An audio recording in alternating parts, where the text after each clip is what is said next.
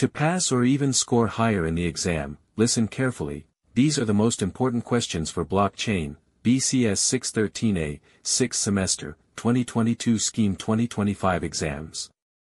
VTU has released the model paper, so make sure to go through these important questions first. After that, you can refer to any other questions you feel are necessary. Sometimes questions may be slightly altered, but we should still rely on these as the core topics.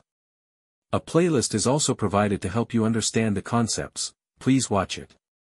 Don't just read, understand the concepts clearly. Main rules while attempting answers in the exam, 1. Start with the best three questions you know, write them neatly and attractively.